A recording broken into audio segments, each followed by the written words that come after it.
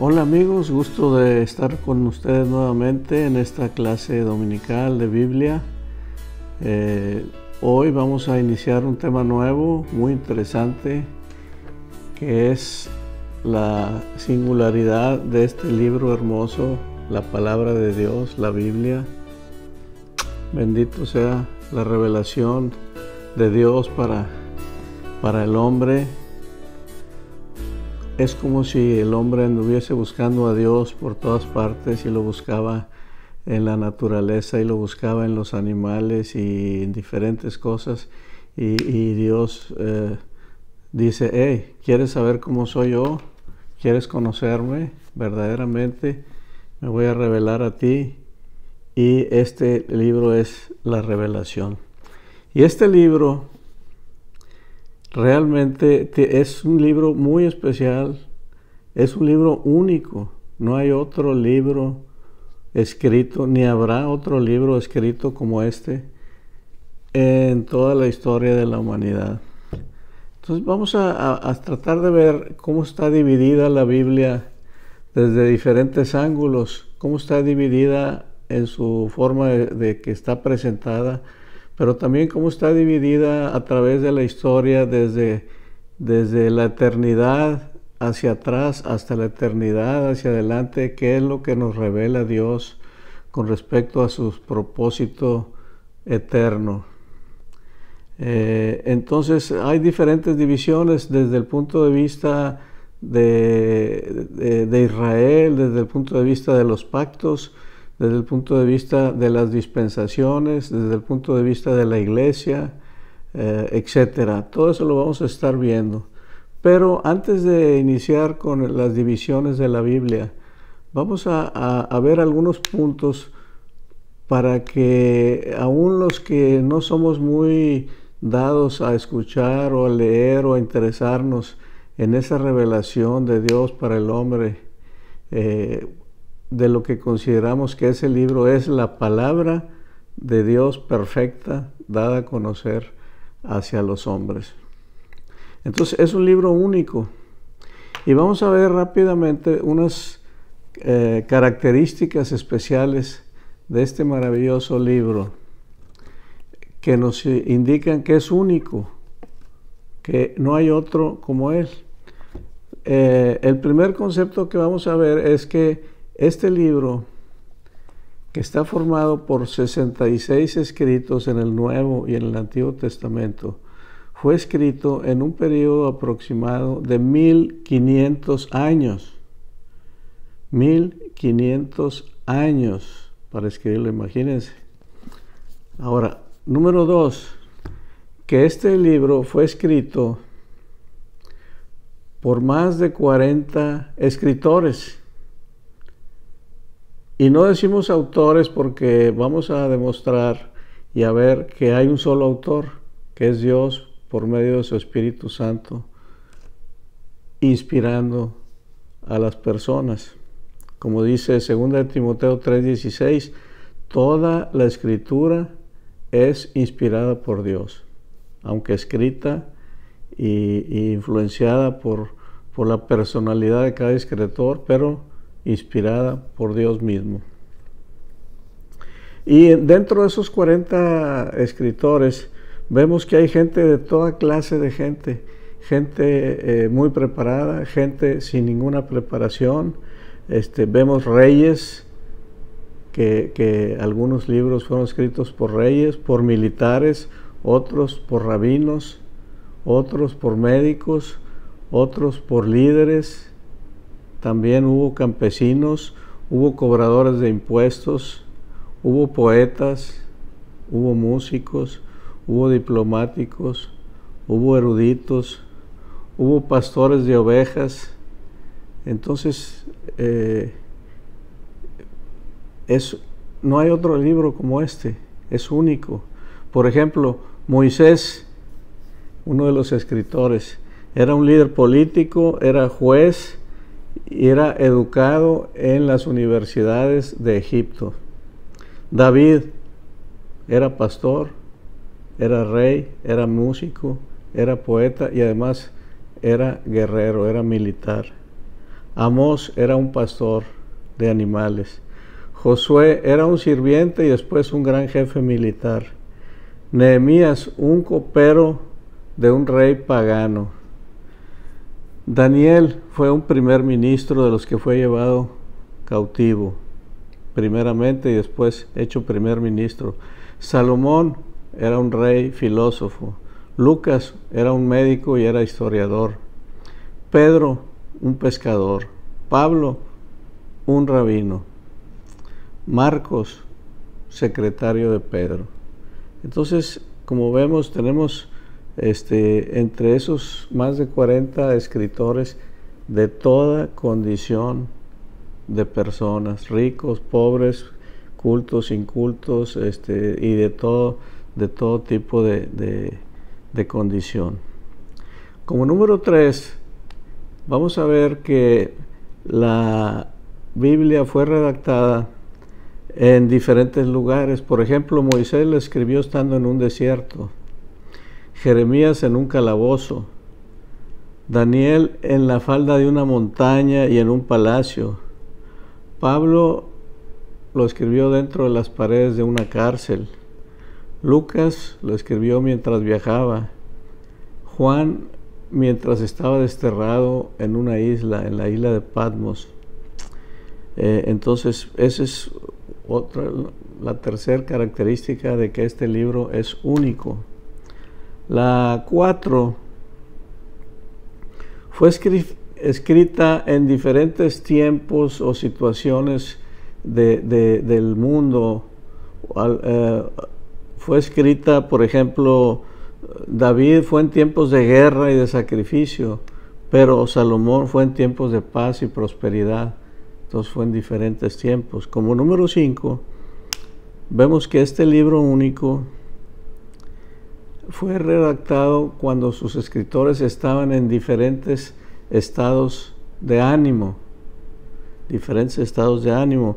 Por ejemplo, algunos se, nota que cuando están escribiendo están con, pasando por un gozo increíble.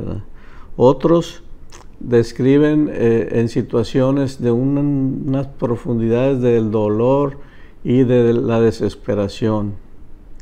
Eh, otros escriben en momentos donde tienen plena certeza y convicción de lo que están diciendo y otros escriben durante días de mucha confusión y de mucha duda. Entonces, diferentes estados de ánimo. Como punto número 6, vemos que este libro es único porque fue también redactado en tres continentes, parte en Asia, parte en África y parte en Europa. Como punto número 7, fue escrita en tres idiomas, en hebreo, en arameo y en griego. Ahora, el estilo literario que se utilizó, que es otra de las características que hace único este libro, fue redactado en una variedad de estilos literarios tremenda, que incluyen, entre otros, la poesía, la narración histórica, la canción, la expresión romántica, el tratado didáctico, la correspondencia personal, memorias, también estilo de sátira, estilo de biografía, estilo de autobiografía, estilo literario de la ley, estilo de profecía, también la, usa la parábola y la alegoría. Entonces vemos una variedad de estilos literarios tremendo. Otra cosa, número nueve, que hace único este libro, es que se ha escrito más de 7 mil millones de veces, se ha imprimido, se ha distribuido. Aquí tenemos uno de ellos, pero imagínense 7 mil millones de ejemplares se han distribuido a través de la historia en eh, diferentes partes. También dentro de, esos 7 mil millones de ejemplares que se han vendido, díganme si no es un bestseller que por ningún motivo va a ser ni será alcanzado por ningún otro libro. Se ha traducido a más de 1800 idiomas y dialectos, más de 1800 idiomas y dialectos. Entonces, eh, otro, el, el número 11, el personaje principal de la Biblia es Dios mismo, el Dios viviente, único, verdadero, quien es revelado por medio de nuestro Señor Jesucristo, su Hijo amado. Entonces, Dios es el tema principal eh, revelado a través de su Hijo Jesucristo. La ley, que es de los primeros libros, provee el fundamento para Cristo. Los libros históricos en el Antiguo Testamento nos muestran los preparativos para Cristo. Están preparando, hablando de Cristo. Luego, las obras poéticas aspiran a Cristo y las profecías pintan las expectaciones de Cristo. Y en el Nuevo Testamento, los evangelios registran la manifestación de Cristo. Los hechos relatan la propagación de Cristo. Las epístolas nos dan la interpretación de Cristo. Y en el Apocalipsis se encuentran la consumación de todas las cosas en Cristo. ¿Qué podemos decir como punto número 11? Que de principio a fin la Biblia es cristocéntrica. Cristocéntrica. Eh, en el punto 12 uh, podemos ver eh, que, la, que la Biblia contiene 66 libros. Aquí hay 66 libros. 39 son del Antiguo Testamento y 27 del Nuevo Testamento. Todos estos libros que están aquí son canónicos, o sea, son considerados por la Iglesia del Señor como inspirados por Dios. Ahora, en el Antiguo Testamento, este, hay algunos libros que no fueron inspirados por Dios y no están en esta Biblia evangélica. Pero algunos, eh, porque no están eh, ni siquiera en el canon judío. Y se les llama deuterocanónicos, o quiere decir posteriores al canon, o apócrifos, que significa ocultos o sin autor divino.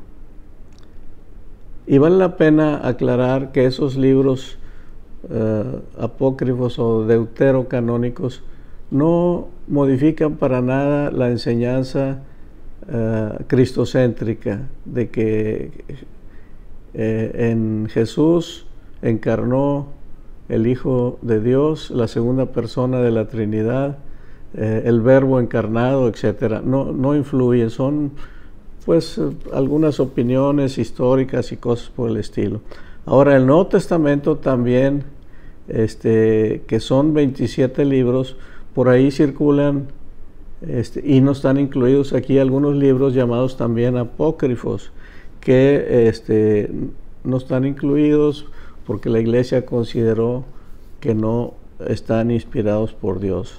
Aún libros escritos por personajes como el apóstol Pedro, que escribió un Apocalipsis, y otros personajes muy reconocidos, pero no quiere decir que todo lo que escribieron es inspirado, pero sí tenemos las epístolas del apóstol Pedro, que están aquí en, en la Biblia y son considerados por la iglesia del Señor como inspirados. Eso es el punto número 12. El punto número 13 eh, la Biblia es única por su supervivencia, por su supervivencia. Este, eh, aunque los, eh, originalmente los libros de la Biblia fueron escritos en materiales muy, muy perecederos como el papiro, el cuero, etc. Este, y eran durante muchos años, siglos, fue, era necesario copiarlos a mano antes de que se inventara la imprenta. Este, las escrituras nunca han perdido su estilo, nunca han perdido su exactitud, ni nunca pudo ser aniquilada. Dentro de la cultura judía había ciertas personas que se llamaban los escribas, doctores de la ley o los masoretas, cuya única responsabilidad era preservar y transmitir estos documentos con una fidelidad que prácticamente era perfecta y hasta contaban las palabras, las sílabas, las letras y no dejaban pasar ni un punto ni una, ni una coma. Entonces ha, ha sobrevivido a, a través de los siglos. Número 14. La Biblia se ha conservado a pesar de las persecuciones. Eh, ha sufrido la Biblia durante toda la historia ataques, etc. Ataques malévolos por sus enemigos.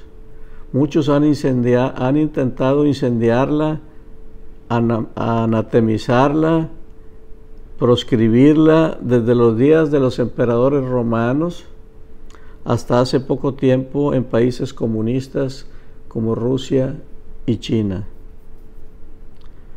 En el año 303 el emperador romano Diocleciano mandó que todos los templos cristianos fueran destruidos y todas las escrituras quemadas. Año 303 Diocleciano.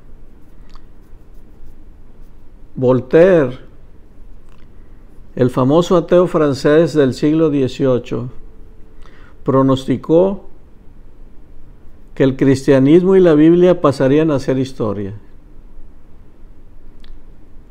¿Qué es lo que ha pasado? Voltaire ha pasado a ser historia, mientras que la circulación de la Biblia sigue aumentando en todo el mundo, llevando bendición a donde quiera que llega. Los enemigos de la Biblia van y vienen, pero la Biblia permanece. Jesús tenía razón cuando dijo, el cielo y la tierra pasarán, mas mis palabras no pasarán. Lo dijo, está escrito ahí en los Evangelios, en Marcos 13, 31. Ahora, eh, el punto número 15 es que la Biblia se ha conservado a través de la crítica. Se le ha criticado mucho ha resistido ataques tanto de incrédulos como de escépticos. Estos han estado atacando y refutando la Biblia por más de 1800 años, pero la Biblia permanece tan sólida como una roca. La circulación aumenta. La gente ama más la Biblia. La gente estima más y lee la Biblia hoy más que nunca. Y hay un, reconocido arqueólogo que se, que se apellida Glueck, que escribió, en todas mis investigaciones arqueológicas no he encontrado ningún artefacto de la antigüedad que contradiga ninguna afirmación de la palabra de Dios. La Biblia es única para aguantar toda clase de críticas. No hay otro libro como ella en toda la literatura. Si tú buscas la verdad, cualquier persona que busque la verdad, siempre querrá de veras considerar un libro que ofrece estas cualidades. Número 16. La Biblia es única por su profecía. La Biblia es el único libro que contiene una colección de profecías acerca de, ciertas naciones particulares, acerca de Israel, profecías acerca de todos los pueblos de la tierra, de ciertas ciudades, sobre todo profecías de aquel que habría de venir, que es el Mesías, el Cristo, el ungido de Dios. Un falso profeta es uno que hacía predicciones que nunca se cumplían. Todas las profecías bíblicas de eventos que habían de suceder hasta ahora ya se han cumplido. Ahí está la diferencia, ya se han cumplido. El tiempo, la ciudad y la naturaleza del nacimiento de Cristo. Docenas de otras cosas acerca de su vida, acerca de su muerte y su resurrección, que estaban profetizadas desde el Antiguo Testamento y que ya se cumplieron. La destrucción de Edom, la condenación de Babilonia, la destrucción de Tiro y de Nínive, el regreso de Israel a su tierra, etc. Hay otros libros que alegan o se acreditan tener inspiración divina como el Corán, el libro del Mormón y la Veda hindú, pero ninguno de estos libros tiene profecía que predice.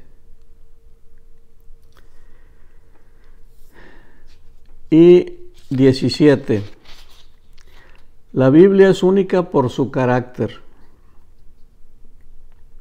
La Biblia trata con franqueza los pecados de sus protagonistas. O sea, no esconde, no maquilla, sino que expone con toda franqueza los pecados de sus protagonistas. Por ejemplo, los pecados de los patriarcas en Génesis, los pecados de su pueblo escogido en Deuteronomio, otro ejemplo, el adulterio del rey David y sus intentos por ocultarlo. Otro ejemplo, los errores y culpas de los evangelistas y de los apóstoles. Eh, y también se expone el desorden que había dentro de la iglesia. Eh, la Biblia es un, es un libro eh, que se concentra en la realidad, no en la fantasía. Sea cual sea, se concentra en la realidad. Presenta lo bueno y lo malo. Presenta lo correcto y lo incorrecto. Presenta lo mejor y lo peor. Presenta la esperanza y la desesperación. Presenta el gozo y el dolor de la vida. Y debe ser así porque en una en última instancia su autor es Dios. Y dice en Hebreos 4:13, no existe cosa creada que no sea manifiesta en su presencia. Más bien están todas desnudas y expuestas ante los ojos de aquel a quien tenemos que dar cuenta. Y por último, 18, la Biblia es única por la influencia total y tremenda que ha ejercido a través del tiempo sobre la civilización. La civilización ha recibido más influencia de las escrituras judeo-cristianas, o sea, la Biblia, Antiguo Testamento, Nuevo Testamento, dice, ha recibido más influencia de estas escrituras que de ningún otro libro o serie, o serie de libros en todo el mundo.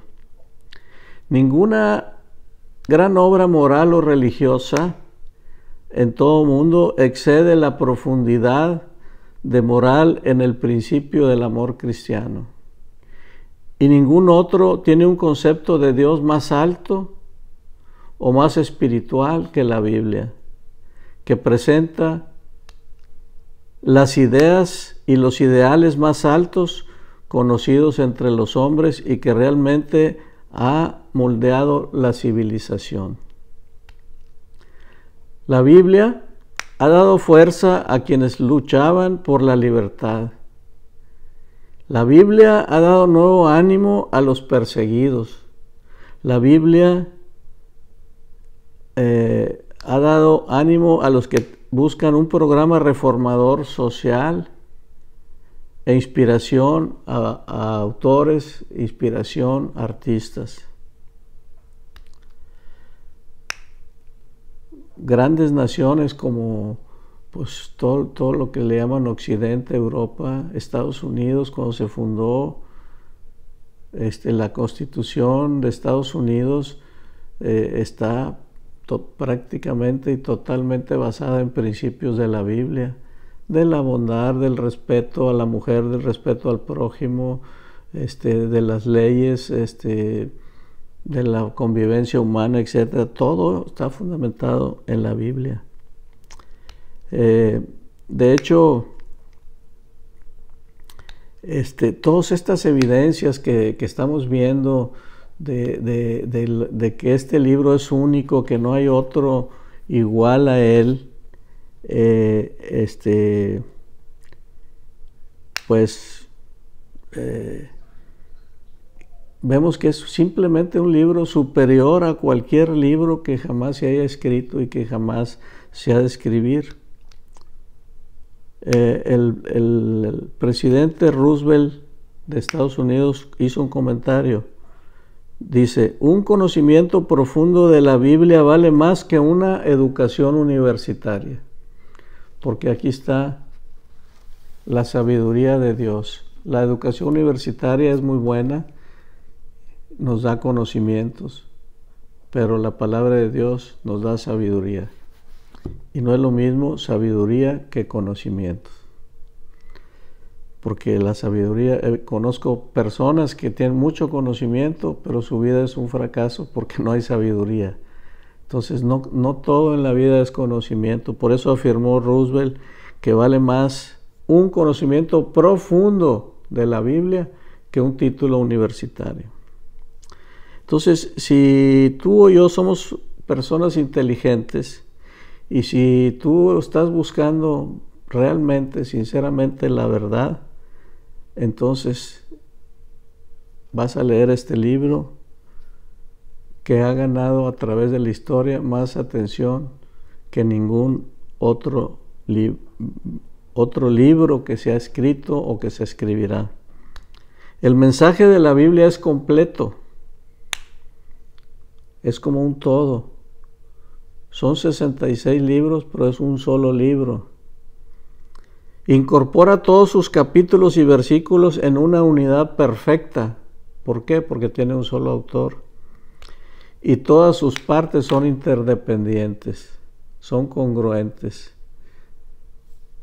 A pesar de todas las críticas, de todo lo que se ha hecho, sigue siendo libro de libros pero sobre todo ahí es donde Dios se revela al hombre para decir, ya no busques, yo me voy a revelar a ti, porque si tú buscas, te va a pasar lo que está escrito en el libro de Romanos, que, que nuestra propia sabiduría nos envanecemos en nuestros vanos razonamientos y caemos a lo peor, a la depravación, a la degradación, etcétera, como está pasando en estos tiempos. Bien, pues esto fue como una introducción eh, para estudiar las divisiones de la Biblia desde, diferentes ángulos, desde diferentes puntos de vista que vamos a iniciar la próxima clase. Eh, Dios les bendiga, cuídense dentro de esta pandemia. Eh, Interésense en conocer más de la palabra. Todo lo que vamos a estar viendo es mucho, muy interesante. Les, eh, les invito a seguir al pendiente de estos estudios. De, son de media hora cada domingo, pero quedan grabados ahí en YouTube, en Facebook y en las diferentes redes sociales y en nuestro sitio de internet de Oasis de Gracia. Los pueden ver después, entre semana, revisarlos, coleccionarlos o como ustedes gusten pero sí vale la pena eh, prepararse y conocer más de este libro, además de todo lo que es la cultura general, porque ahí está los secretos de la revelación de Dios para el hombre. Bien, cuídense mucho, que el Señor les bendiga y la gracia del Padre del Hijo y del Espíritu Santo esté con todos ustedes.